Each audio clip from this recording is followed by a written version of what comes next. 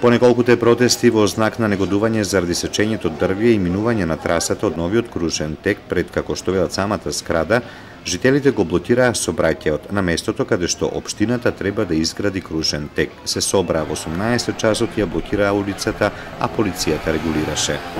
Правим како жени имаме одговорност, а и како граѓани бидејќи ја живам во непосредна близина, на 500 метри од од овдека, во близина на училиштето Тодор Ангелевски А, мислам дека и ние направивме мерење на кружниот тек што е кај безистенот и кај брзата помош.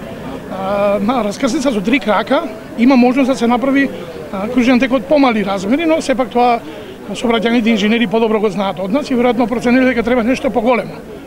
А, имаме информација дека во средината на кружниот ток или не знам каде ќе се гради и ќе се постави споменикот на Александар Туруджев. Исто така, против поставување на споменикот на Александар Туржев и против градење на кружен тек, овие места немаат ник ништо. Значи, тие сакаат да се изгради кружен тек како сообраќајно решение и спомен обележие на Александар Турунџев. Но не сакаат да се сечат дрвата кои се во нивна непосредна близина. Постои техничка можност да се направи кружен тек и мислам дека во прашање е само волја на општинските власти да го направат од помал размер, кој ќе ги ќе го регулира сообраќајот така како што треба и тука е завршена целата приказна. Бела дека има и друго решение без да се сечат толку дрвја. 15, 15, и тоа длабоко внатре, до самата зграда. Сметам дека е непотребно. И доколку некој смета дека е многу подобро така, би барале разбирање од надлежните да се преиспита целата таа одлука не, не за друга цел, туку само за цел да се да се задоволат сите интереси. Вчера доцна попладне општината, како што објавивме, се огласи преку соопштение. Општина Битола, не навлегувајќи во мотивите на организаторот, одлучи во овој период на политички мотивации проектот да го подложи на дополнителна ревизија, кој треба да биде во интерес на сите граѓани, а не само на подносителите на петицијата, како и во согласно со собраќајните прописи. За информација на граѓаните, согласно програмата за споменици, изработен е споменик на Александар Турунџев, кој според проектот треба да биде поставен во средишниот дел на кружниот тек. Но неговото поставување ќе причека до завршување на постапката наведена во петицијата, стои во соопштението кое го лиферуваше Обштина Битола. А затоа што таа мерка нема датум. Ние би сакале да излезе со соопштение и да речат ние ова ова сообраќајно решение или овој проект го одлагаме до тогаш и тогаш, а за тогаш и тогаш повикуваме собир на граѓани кои согласно закон за локална самоуправа го имаат како надлежност и како обврска.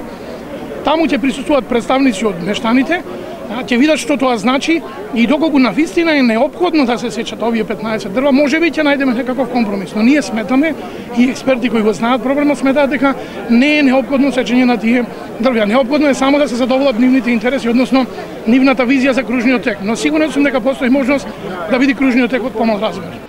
Дел од присутните ја поздрави одлуката на општината за времено стопирање на работите и најавената дополнителна ревизија на проектот. Не, општината соопшти дека го запира, ја запира реализацијата. Е, добро, ако е така, јас си му, му, се заблагодарувам. Значи, свеста поработи таму. Значи, ова е обшествено добро, не е само за ова. Ова за сите, и за вас, ако живеете друго место. дрвото нема партија, нема стопан, нема ништо.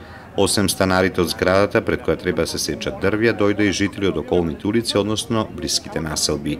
Јас сум тука како поддршка на граѓаните од овој дел на градот, за да ги поддржиме во она што е нивно барање, барање на сите граѓани, а тоа е да се зачува зеленилото во овој дел од градот, кој што е планирано да се уништи со изградба на тој кружен тек ги поддржуваме граѓаните во она што е нивно барање, тоа е да се изгради кружен тек, да се постави споменик, меѓутоа не за цел да се уништи зеленилото. Знаеме дека на Битола секое едно зелено стебло, едно зелено паркче е од големо значење со оглед на тоа дека Битола рангира на врвот на листата на најзагадени градови во Европа и не смееме да дозволиме уништување на она малку зеленило што го имаме. Имаа донесено и три садници за да порача дека треба да се сади, а не да се сечи.